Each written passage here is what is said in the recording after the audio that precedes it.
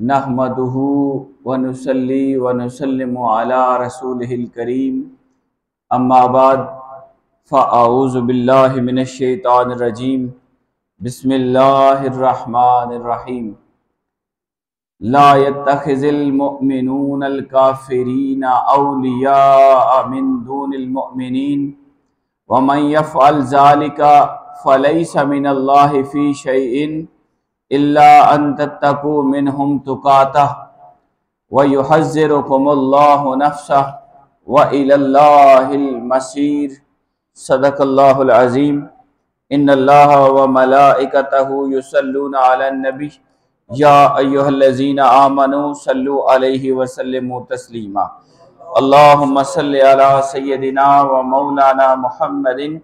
व अला आल सैदिना व मौलाना मोहम्मद व बारिक वसल्लम वसल सूर आल इमरान की आयत नंबर 28 पिछले जुमा भी हमने इसका मताल किया था और इसका एक पहलू हमने डिस्कस किया और एक इंतहाई अहम और अकीदे पर मबनी बात जो इस हवाले से मैंने मुनासिब समझी आज इन आपके गोश गुजार करूँगा आयत मुबारक इस तरह शुरू होती है, ला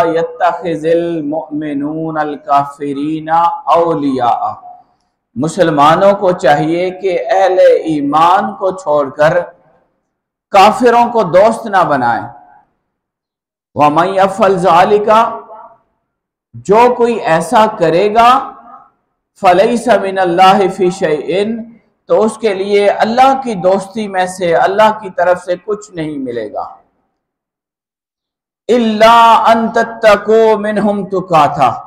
हाँ कुफार के साथ दोस्ती और ताल्लुक का ये लेवल आपको इजाज़त है कि अगर तुम उनके शर से बचना चाहो, इल्ला अन तत्तको मिनहुम तुकाता कुफार के शर से बचने के लिए जिस कदर ज़रूरी हो, उतने ताल्लुकात बहाल रखने चाहिए।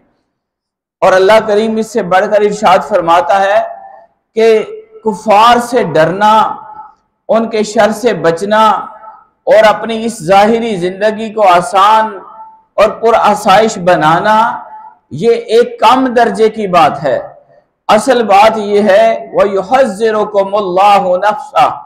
अल्लाह तुम्हें अपने गजब से डराता है कि तुम राह हक छोड़ दो, ईमान का रास्ता छोड़ दो और दुनियावी चंद टकों या चंद फायदों की खातिर अपने ईमान को एक तरफ़ रख दो। और अगर तुम्हारी ज़िंदगी में ऐसी सोच आए और ऐसा ख्याल आए कि हमारा ताल्लुक गैर मुस्लिमों के साथ, काफिरों के साथ, दुश्मनाने इस्लाम के साथ और रसूलुल्लाह की जात के साथ, बोझ रखने के साथ, वालों के साथ हो तो इसका मतलब यह है कि तुमने अल्लाह और उसके रसूल को पीछे कर दिया। तुम्हें अल्लाह का खौफ नहीं, तुम्हें काफिरों का खौफ है, जिनके पास जाहिरी कुछ मनसब है, जाहिरी दौलत है, जाहिरी उनके पास ताकत है। और आखिर में फरमाया हुआ मसीर और तुम्हें लौट कर मेरी तरफ़ आना है। यानी अगर तुमने अल्लाह के इस कानून की खिलाफ वर्जी की और इस्लाम की इस तालीमत को तुमने छोड़ दिया तो याद रखना फिर अल्लाह की बारगाह में लौट के आना है और तुमने अपनी ज़िंदगी के तमाम अमाल का जवाब दे होना है। हाजरीन ग्रामी, इस आयत मुबारक के तहत हमने पिछले जुमा को इंटरनेशनली आलम इस्लाम को किन लोगों के साथ ताल्लुक रखना चाहिए और कैसा रखना चाहिए, ये इस पहलू से हमने कुछ बात की थी। कि मुस्लिम हुकूमत है, उसने दुनिया के साथ रहना है। तो मामलात दुनिया चलाने के लिए अब कोई मुल्क अलहदा नहीं रह सकता, उसके लिए मुश्किल है। तो यहाँ इस बात को बड़ा वाज किया गया कि जितना आपके लिए मुमकिन हो, उस हद तक आपको इस्लाम की तालीमत को फॉलो करते हुए, इस्लाम के पैगाम पर अमल करते हुए, कुरान के इस असूल को कायम रखते हुए गैर मुस्लिमों से ताल्लुक रखना है। लेकिन ये ना हो कि इस्लाम को एक तरफ़ रख दिया जाए, एक मुल्क जो मुसलमान है और उसके अंदर इस्लाम के मानने वाले बसते हैं, उनको गिराने के लिए, उनको तबाह करने के लिए, उनको कत्लो गारत करने के लिए आप गैर मुस्लिमों के साथी और हामी बनकर उनको तबाह बर्बाद करें। ऐसी बात, इस बात की इजाज़त नहीं। और अल्लाह के दुश्मनों से दोस्ती करने की इजाज़त नहीं। और इसी तरह हम जब हर इंसान अपनी जात में, अपने आप को देखे तो हर एक शख्स के लिए इसमें हिदायत है। अल्लाह फरमाते हैं मोमिन वो हैं, मुसलमान वो हैं, जो मुसलमानों से ही मोहब्बत का, विलायत का, दोस्ती का, मदद का ताल्लुक रखते हैं और एक दूसरे के साथ तावन करते हैं, एक दूसरे की मदद करते हैं। तो विलायत, मोहब्बत, ताल्लुक ये अहले ईमान से रखना चाहिए, गैर मुस्लिमों से नहीं। और वलियों से दोस्ती रखनी चाहिए। मोहब्बत ईमान की बुनियाद पर हो, ताल्लुक तकवा की बुनियाद पर होना चाहिए, ना कि जाहिरी करो फर की बुनियाद पर। किसी मनसब की बुनियाद पर ताल्लुक नहीं होना चाहिए। किसी की जाहिरी दौलत की कसरत की वजह से ताल्लुक नहीं होना चाहिए। किसी के ऊँचे मनसब को देखकर ताल्लुक नहीं बनाना चाहिए। बल्कि ताल्लुक की बुनियाद अल्लाह और उसके रसूल की जात होनी चाहिए। ईमान होना चाहिए, तकवा होना चाहिए। कुरान मजीद में ये बड़ा वाज इर्शाद फरमा दिया कि दोस्तियाँ सारी क्यामत वाले दिन दुश्मनियों में बदल जाएँगी। मुत्तकीन, लेकिन तकवा वालों की दोस्ती क्यामत वाले दिन भी कायम रहेगी। तो दोस्ती का मैार, ताल्लुक का मैार मोहब्बत का मैार रिलेशन का मैार ईमान होना चाहिए। आज का दौर बड़ा पुरफितन दौर है कि हम अल्लाह के दुश्मनों के साथ, दीन दुश्मनों के साथ, गैर मुस्लिमों के साथ, बेदीन लोगों के साथ, और जो दीन से मुतनफर दहरी किस्म के लोग हैं, जो इस्लाम को पुरानी और फरसूदा रसूमात कहते हैं, हम उनसे ताल्लुक बनाकर खुश होते हैं। और उसको बड़ा हाईलाइट करते हैं और लोगों को बताते हैं, जी, मेरा फलां के साथ ताल्लुक है। और वो सबसे बड़ा दुश्मन इस्लाम है। और जो अहले ईमान है, जो तकवा वाले हैं, जो अल्लाह की मोहब्बत अता करने वाले हैं, जो दीन देने वाले हैं, जो आपको अल्लाह का कुर्ब देने वाले हैं, अल्लाह के ऐसे नेक, सालहीन, मुत्तकीन के साथ हम मज़ाक का ताल्लुक, कमज़ोर ताल्लुक, नफरत का ताल्लुक और बुगज का ताल्लुक बना लिए, देख चुके हैं। और ऐसे फिरके भी पैदा हो गए हैं, जो वलियों के साथ, नेकों के साथ, मुत्तकीन के साथ, सालहीन के ताल्लुक के साथ अपने आप को जोड़ने को, वो तंज की नज़र से देखते हैं। और इसी बात को उन्होंने मजहबी एक अकीदा बना दिया है। और इस बात को बुतों के साथ जोड़ दिया। और इस बात को शिरक बना के रख दिया। और इस बात को कुफर तक का फतवा जारी कर दिया। जबकि कुरान बड़ा वाज कहता है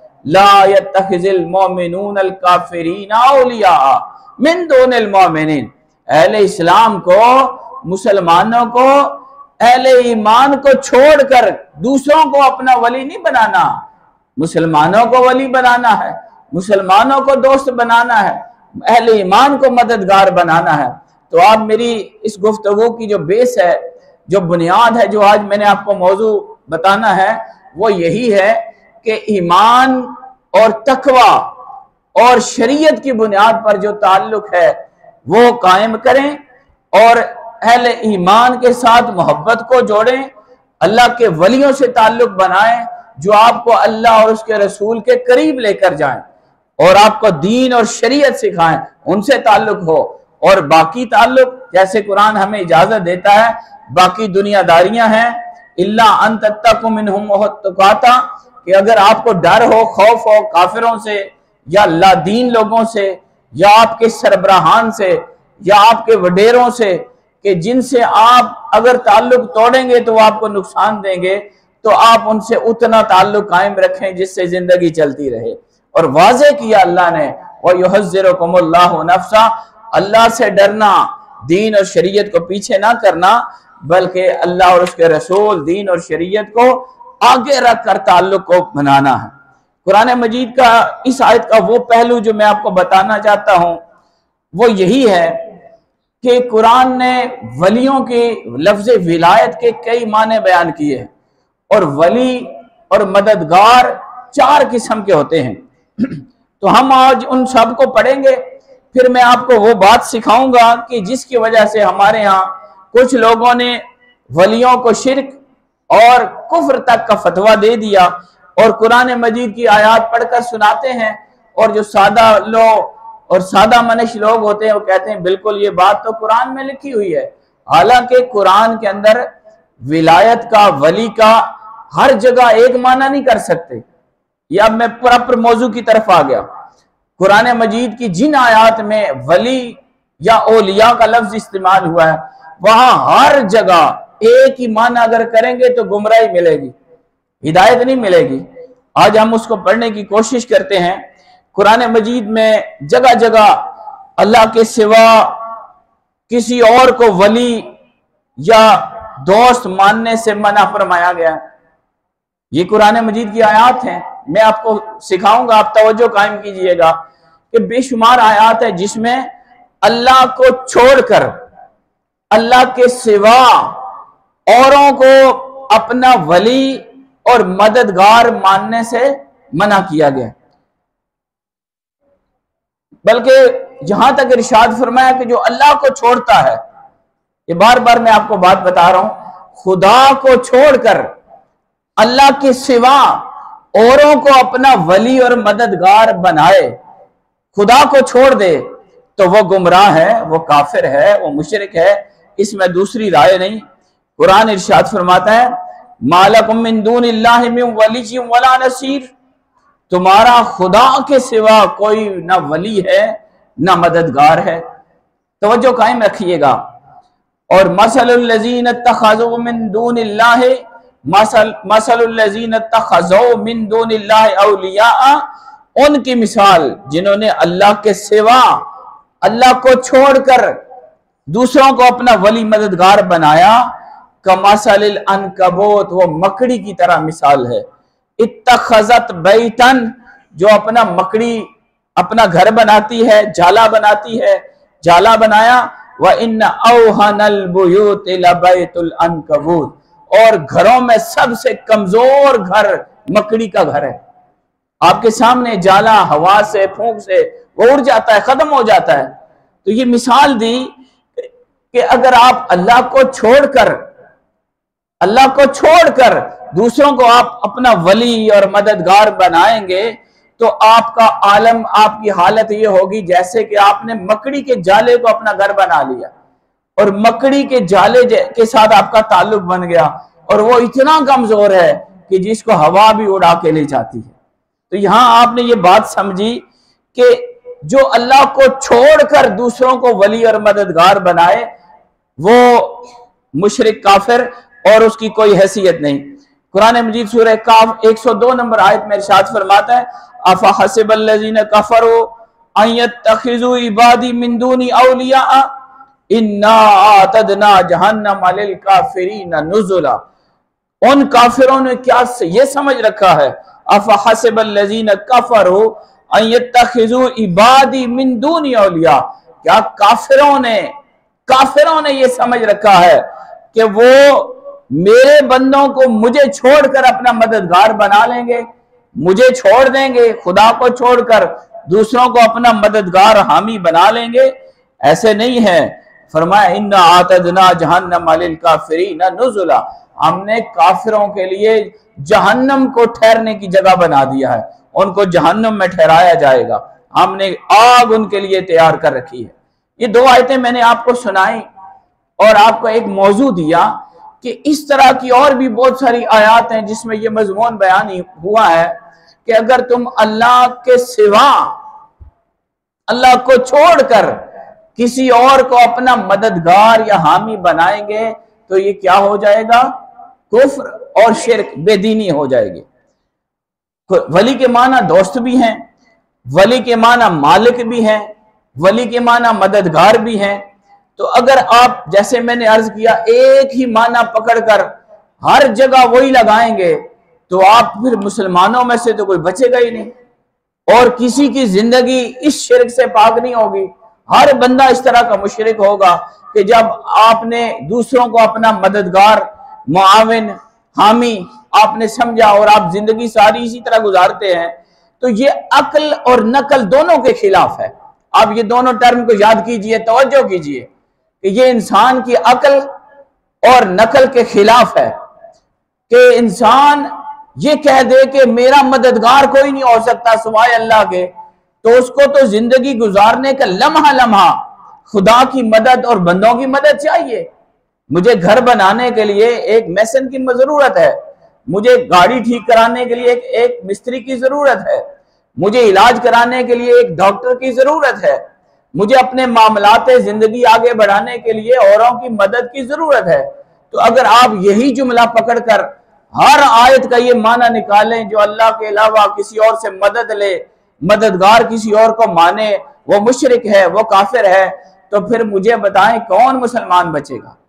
मैं आपको ये दलाइल देता हूँ कि अकल और नकल, यानी जो कुरान मजीद की आयात हैं और दीगर दलाइल शरीयत हैं, उनके भी खिलाफ ये बात है कि इंसान हर जगह यही माना ले और सबको गैर मुस्लिम, मुशरक, काफिर और इस तरह कहना शुरू कर दे। और अकल भी इस बात को नहीं मानती। सुनिए, पहली दलील के तौर पर आपको मैं बताता हूँ कि कुरान मजीद में अल्लाह के बंदों के मददगार होने का ज़िक्र खुद कुरान फरमाता है कि अल्लाह के बंदे भी मददगार हैं। सूरह निसा आयत पचहत्तर में फरमाया वज मिल्लदुन का वलीयन। अल्लाह हमारे लिए अपनी तरफ़ से कोई मददगार बना दे। वज मिल्लदुन का नसीरा। खुद खुदा से कहा जा रहा है। अब ये दुआ है, इस पे गौर कीजिए। और मैं आपको समझाना चाहता हूँ कि यहाँ पर अल्लाह को कहा जाता, ये कुरान मजीद है, खुद खुदा सिखा रहा है। अल्लाह कहते हैं, अल्लाह, यूँ दुआ मांगो, अल्लाह, तू हमारा मददगार बन जा। तू हमारा मदद करने वाला बन जा। हमें किसी और की मदद की ज़रूरत नहीं। ये कहना भी गलत नहीं, ये भी दुरुस्त है। लेकिन खुदा ने हमें दुआ का एक तरीका सिखाया। वज का अल्लाह, हमारे लिए अपनी जनाब खास से वलीयन कोई मददगार भेज दे। हमारे मामला में जो हमारी मदद वली हो, मददगार हो वजल्लना मिल्लदुन का नसीरा।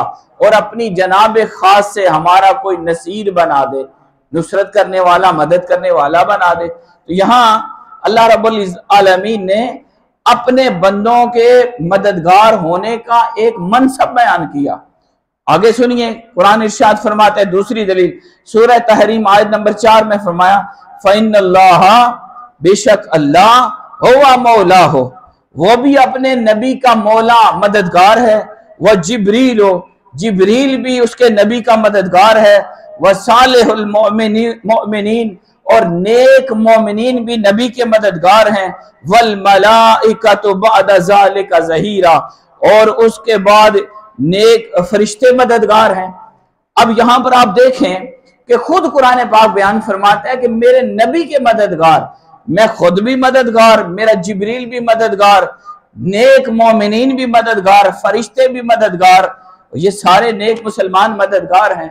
तो यहाँ अल्लाह करीम ने मोमिन को, मुसलमिन को, फरिश्तों को इनको भी मददगार के लफ्ज के साथ पुकारा। है तीसरी दलील सूरह मायदा, आयत नंबर पचपन इशाद फरमा इन नमा भाई, तुम सब जान लो कि तुम्हारा वली मददगार अल्लाह भी है वह रसूल हो और उसका रसूल भी तुम्हारा मददगार है। वल्लजीना आमनो, यहाँ मददगार वही माना ले रहे हैं जो वो करते हैं। वो कहते हैं, मददगार कोई और नहीं सिवाय अल्लाह के। तो यहाँ अल्लाह खुद इरशाद फरमाता है, इन्नमा वलीकुमुल्लाह अल्लाह भी तुम्हारा वली, मददगार है। व रसूल उनका लफ्ज बोलते हैं या क्या माना मुराद लेंगे? भाई, उसका रसूल भी मददगार है। वल्लजीना आमनु, यहाँ तक अल्लाह ने यह बात नहीं खत्म की। फरमाया मोमिन भी मददगार हैं। वल्लजीन यकीमून सलात। वो जो नमाज़ कायम करने वाले व जक़ात और जक़ात भी देने वाले, वह हमरा के ओन व अल्लाह की बारगाह में रकू करने वाले, झुकने वाले हैं। ये सारे मददगार हैं। ये तुम्हारे मददगार हैं। आगे दलील नंबर चार, सूरह तौबा, आयत नंबर इकहत्तर, फरमाया, वल मोमिनूना, वल मोमिनातो बादहुम औलिया बाद। मोमिनीन और मोमिनात बाज बाज के मददगार हैं, मुआमिन हैं, उनकी मदद करने वाले हैं। यहाँ खुद खुरान मजीद इरशाद फरमाता है कि मोमिन भी मददगार, फरिश्ते भी मददगार, सालहीन मददगार, अल्लाह मददगार।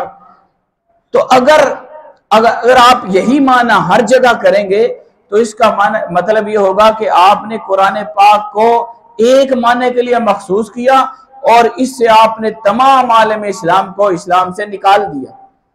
अकल के खिलाफ, जैसे मैंने पहले बात की, अगर हम वली का माना, हर ही मुकाम पर, हर आयत में मददगार करें तो फिर क्या कहा जाएगा? जो अल्लाह के सिवा किसी और को मदद के लिए बुलाता है। आप भी काम करते हैं दुनिया के, और मामलाते दुनिया एक दूसरे के ताउन से, ताउन और मदद को कहते हैं तो मदद से ही हल होते हैं। तो जब आप दूसरे की मदद लेंगे दुनियावी किसी भी काम में और वहाँ पर यह माना मुराद लें कि मदद किसी से ली तो आप मुशरक हो गए तो आप मुझे बताएँ कौन बचेगा?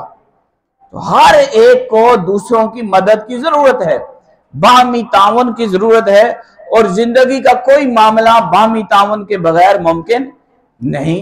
तो यहाँ पर हम सोचने की बात है अकल की बात है और दिमाग को जग, जगह पर लाकर आप सोचें तो आपको पता चलेगा कि अल्लाह करीम कभी ऐसे नहीं कर सकता। अगर हर जगह हम यही माना मुराद लेते कि जो जिससे मदद लेगा ये शिरक हो गया। चाहे आपने किसी से भी कोई मदद ली, ये शिरक हो गया, क्योंकि मददगार सिर्फ़ अल्लाह है, और तो कोई है ही नहीं। तो अगर ये माना मुराद लिया तो आप बचे नहीं, कोई भी नहीं बचा। अब फिर सवाल बनता है, आप भी सवाल कर सकते हैं, सोच सकते हैं कि वो आयात जिनमें ममानत है कि आप मदद ना लें, अल्लाह के सिवा किसी को आप बली ना बनाएँ। अल्लाह के सिवा कोई और आपका मददगार नहीं। या अल्लाह करीम खुद फरमाता है, मेरे सिवा कोई और वली नहीं। तो इसका फिर क्या माना मुराद लिया जाए? अगर सब जगह मददगार माना लेके लें तो जिनमें अल्लाह के सिवा मदद को मना किया गया है तो फिर वहाँ पर कैसे मामला को दुरुस्त करेंगे? तो कुरान ने ही इसका जवाब दिया, और बड़ा वाज तौर पर इसको हल किया है। किसी को भी वली मानना चार तरह से माना जा सकता है। अगर आप किसी को वली मानते हैं, मददगार मानते हैं मुआमिन मानते हैं या वली समझते हैं तो चार किस्में उसकी हो सकती हैं। पूरे कुरान मजीद की जितनी आयात है, उनका निचोड़ ये है। एक ये है, पहले आप सुन लें, चार माने लिए जा सकते हैं किसी को मददगार के। चार किस्म का आप वली बना सकते हैं। तीन किस्म का वली मनाना ये शिरक और कुफर है। एक किस्म बाकी बचती है, वो दुरुस्त है, वो ईमान है, वो असल ईमान है। अब हम उन चारों किस्मों को पढ़ लेते हैं, बात खुल जाएगी। अगर कोई शख्स अल्लाह को कमज़ोर समझकर नाउज बिल्ला मिनजालिक किसी और को अपना हामी और मददगार बना ले, कि यानी रब हमारी मदद नहीं कर सकता, फलां बंदा कर सकता है क्योंकि खुदा मिनजालिक कमज़ोरी की वजह से। तो इसका यह मतलब होगा कि उसने अब कुफ्र कर दिया, शिर कर दिया। खुदा से बढ़कर किसी आम इंसान को उसने समझ लिया, चाहे वो कोई भी हो। तो ऐसी सूरत में किसी को वली मानना कि हमारा जो वली है, ये खुदा से आगे बढ़कर हमारी मदद कर सकता है, ये शिरक है, ये कुफ्र है। कुरान फरमाता है, वलम यकुल्लहु वली और अल्लाह और नहीं है अल्लाह का कोई भी मददगार। कोई ऐसा अल्लाह को हामी मददगार नहीं है। मिना जुल कमज़ोरी की वजह से। अल्लाह किसी मामले में कमज़ोर नहीं कि उसको किसी और की ज़रूरत पड़े। भाई, अल्लाह तुम्हारी हर ज़रूरत पूरी कर सकता है। अल्लाह तुम्हारी हर किस्म की मदद कर सकता है। और अल्लाह तुम्हारा हामी और मददगार है। तुम्हें किसी और तरफ़ जाने की ज़रूरत नहीं। यानी अल्लाह का मददगार होना और अल्लाह का हर चीज़ पर कामिल कुदरत रखना, ये इस बात की अलामत है कि अल्लाह करीम को किसी कमज़ोरी की और किसी कमी की का मसला नहीं। तो अगर कोई शख्स किसी को कमज़ोर, अल्लाह को कमज़ोर समझे और किसी और इंसान या ताकत को या किसी भी जान को, फरिश्ते को, किसी को ज़्यादा ताकतवर समझ के उनसे मदद का तालिब होता है तो ये शिरक है। और वली का दूसरा माना कि खुदा के मुकाबले में किसी और को मददगार मान लेना। पहले था खुदा को कमज़ोर समझकर दूसरे को मददगार बनाना। और अब यह है कि खुदा भी मदद कर सकता है और खुदा के बराबर नवजुबिल्ला कोई और भी मदद कर सकता है। ये भी शिरक और ये भी कुफर है। यानी खुदा के मुकाबले में किसी को मददगार माना, यानी अल्लाह अगर अजाब देना चाहे तो मुकाबले में जो आपका वली है, वो उसको रोक दे। तो ये शिरक हो गया। यानी खुदा के मुकाबले में आप किसी को मददगार नहीं बना सकते। बड़ी वाजे सी बात है। यानी अल्लाह करीम अगर किसी को पकड़ना चाहे, अजाब देना चाहे, सजा देना चाहे तो किसी इंसान की यह मजाल नहीं कि वो अल्लाह को अपने उस फेल से रोक सके। कुरान मजीद इर्शाद फरमाता है, सूरह हुद, आयत नंबर बीस। उलाम फिल अर्द। ये कुफार खुदा को आजिज नहीं कर सकते। वमा कान मिन अलिया और ना ही खुदा के मुकाबले में उनका कोई वली और मददगार है। अल्लाह अजाब देना चाहे, पकड़ना चाहे, सजा देना चाहे तो कुफार के लिए कोई और हस्ती ऐसी नहीं जो उनको बचा सके। इस पर एक और दलील भी सुने। फरमाया असुर अजाब आयत नंबर सत्रह कुल मिन कौन है तुम्हें अल्लाह के सिवा? अल्लाह से बचाने वाला। इन अरादा बेकुम सोआ। अगर अल्लाह तुम्हें तकलीफ़ देना चाहे तो उसको कौन रोक सकता है? ओ अरादा बेकुम रहमा। और अगर अल्लाह तुम्हारे साथ कोई भलाई करना चाहे, मेहरबानी करना चाहे तो कौन उसको रोक सकता है? अल्लाह के किसी फेल को कोई और रोक नहीं सकता। अल्लाह करीम बड़ा वाज फरमान वला नसीरा। और तो अल्लाह करीम की ये शान है कि अगर अल्लाह फरमा दें, कौन है जो तुम्हें अल्लाह से बचा सके? अगर वो तुम्हें कोई दुख तकलीफ़ देना चाहे, या अगर कोई मेहरबानी अल्लाह करना चाहे तो उसे कोई रोक नहीं सकता। और अल्लाह के मुकाबले में कोई वली नहीं है कुफार का, और ना ही उनका कोई मददगार है। ये अकीदा बेसिकली कुफार से हमारी तरफ़ आया और इसको उठाकर भुतों को, कुफार के मामला को हमारे सर पे डाल दिया गया। तो नतीजा ये निकला कि साबित यह हुआ कि अल्लाह के मुकाबले में किसी को वली और मददगार बनाना यह भी शिरक। मैंने दो सूरतें बयान की हैं। अल्लाह को कमज़ोर समझकर, किसी को ताकतवर समझकर उसका उसे मदद लेना यह भी शिरक। अल्लाह के मुकाबले में किसी से मदद मांगना यह भी शिरक। और वली का एक तीसरा माना है कि किसी को मददगार समझकर उसकी इबादत करना, उसकी पूजा करना, उसको मबूद बना लेना, ये भी शिरक। कुरान मजीद फरमाते हैं, वल्लजीन तखदु मिन दून ही औलिया माना ये कुफा, ये हमारे मुसलमान भाई हमारे ऊपर लगाते हैं तर्जमा सुनिए, और जिन्होंने अल्लाह को छोड़कर अल्लाह के सिवा मददगार बनाए, वो ये कहते हैं, हम तो उन्हें इसलिए पूजते हैं, हम उन्हें इसलिए उनकी इबादत करते हैं, ताकि वो हमें अल्लाह के करीब कर दें। ये नुकता याद रखें कि किसी को इस तरह मानना कि वो इबादत का दर्जा दे देना, किसी को इस तरह मददगार बनाना और मददगार समझना कि ये हमें अल्लाह के करीब करने वाला है। अब इसके बदले में हम इसकी इबादत करते हैं। ये बात समझें। और ये मुसलमानों पर जुल्म है। ये कुरान के अंदर तहरीफ है। और ये मुसलमानों को गैर मुस्लिम करार देना, ये इट्सल खुद कुफर की बात है कि अल्लाह फरमाता है कि अगर आपने किसी को पूजना शुरू कर दिया और उसकी इबादत करना शुरू कर दी इसलिए कि वो आपको अल्लाह के करीब कर दे, ये शिरक है, ये कुफर है। हम में से कोई बंदा किसी की इबादत नहीं करता। इबादत सिर्फ़ अल्लाह की करते हैं। तो ये आपने देख लिया कि यहाँ पर वली बमाना मददगार समझकर उसकी इबादत करना ये शिरक कहलाएगा, ये कुफर कहलाएगा और ऐसा करने वाला ये मुशरक हो जाएगा। तो नतीजा तन इन तीनों सूरतों में आप किसी को ऐसी सूरत में वली नहीं मान सकते। मैं दोहराने लगा हूँ, आप गौर से सुनिएगा कि आप नौजबिल्लाजालिक हम में से कोई शख्स अल्लाह को कमज़ोर समझकर किसी को ताकतवर समझे और उससे मदद मांगे, ये भी शिरक। अल्लाह के बराबरी में किसी से मदद मांगे और अल्लाह कुछ करना चाहे, वो उसे रोक दे।